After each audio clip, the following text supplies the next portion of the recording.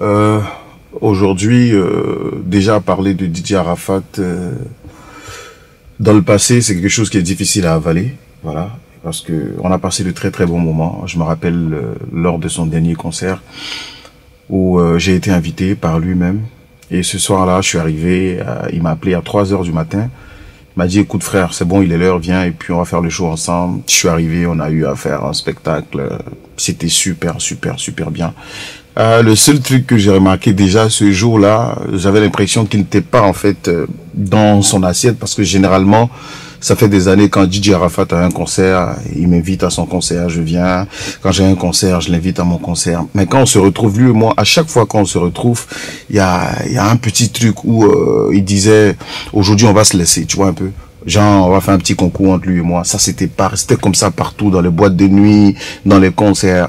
Et ce jour-là, en allant là-bas, déjà, je savais qu'il allait avoir ça. Donc, du coup, euh, c'est quelque chose auquel j'étais habitué, mais c'est pas arrivé. Et euh, ça m'a, ça, m'a, ça m'a un peu semblé bizarre parce que c'était pas dans ses habitudes. Mais bon, bref, je me suis dit bon, écoute, peut-être c'est le timing et tout ça. Et euh, le lendemain, ouais, je crois le lendemain vers 19h, il m'a envoyé les photos de de nos de notre spectacle voilà, euh, il m'a dit merci, mon frère, merci pour le soutien et tout. Euh, je t'appelle. Je dis ok, à fois c'est la famille. Je crois que c'était la fête de Tabaski, je crois. 19h, 20h par là. Et là, il m'appelle. Allô, ça va? Je dis ouais. Tu es où? Je dis non, je suis à la maison et tout. Il dit ah franchement, je t'appelle pour te dire merci parce que tu m'as tu m'as montré que tu j'ai de l'importance à tes yeux.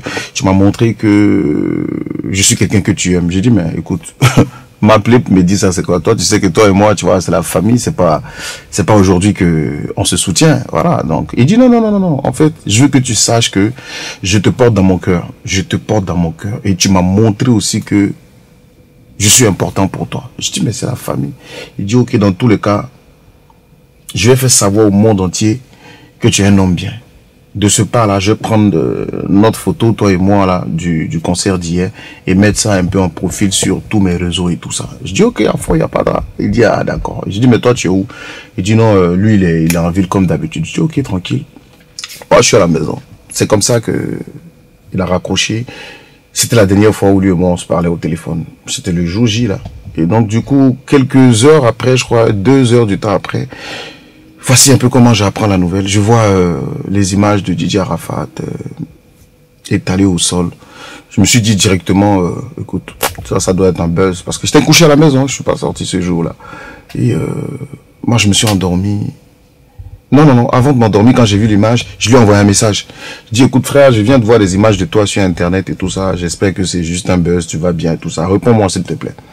Et euh, j'ai pas reçu de réponse. Non. Moi, vu que j'étais à la maison, je me suis endormi. Et vers 5 heures, quand je me suis réveillé, j'ai vu que c'était partout sur Internet, Didier Arafat, Didier Arafat. Je dis, mais attends, c'est sérieux ce truc-là? Donc du coup, je me suis lavé, j'ai pris une douche vite fait, j'ai pris ma voiture, je suis parti à l'hôpital. Et euh, voilà, j'arrive, on me fait passer par derrière, je monte directement, je tombe sur euh, sur euh, mon frère Didier Arafat. Voilà, et j'étais en train de sortir son corps, comme ça. Ça a été un gros choc. Mais un gros choc, euh, je peux pas dire que je suis le seul à, avoir reçu ce choc-là. Non, je pense que toute la Côte d'Ivoire, tout le monde entier a reçu ce choc-là. C'était, c'était trop lourd, c'était trop difficile. Voilà. Et euh, jusqu'aujourd'hui, je pourrais pas dire que c'est quelque chose qu'on accepte. Voilà.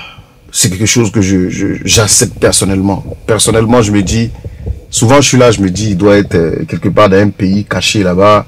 Et un matin, il va sortir, il va dire, ouais, c'est le Yoro. Vous pensez que quoi, tu vois?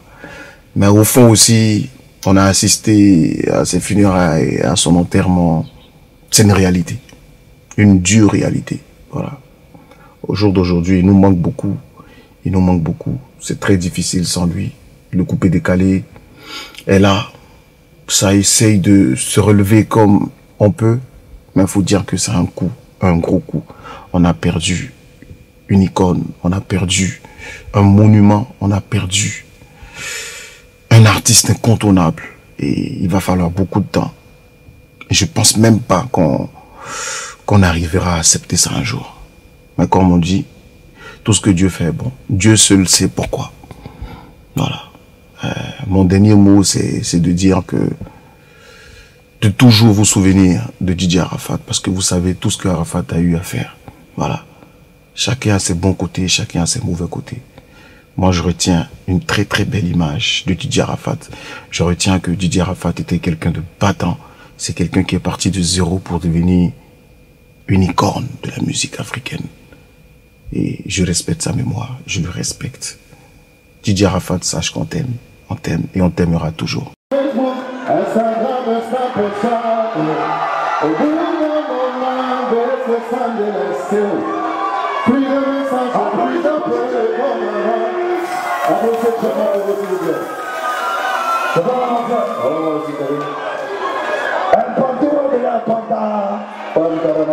Voilà. Bon, je sais pas. Là, s'il vous plaît, qui vous un petit mouvement. La c'est bon Vous pouvez pas... Ivoire TV, musique.